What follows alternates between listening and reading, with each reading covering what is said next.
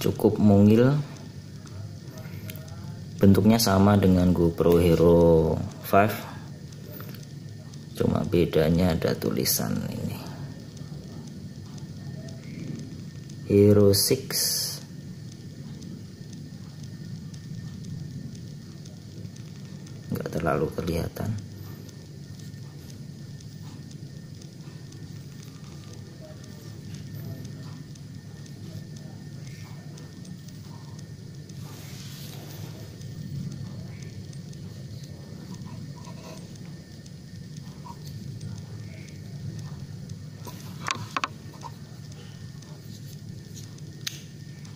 ini wadah baterainya.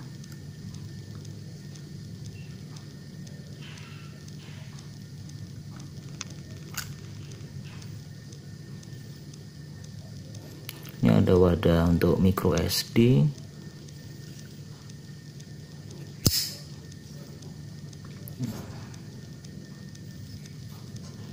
ini tombol powernya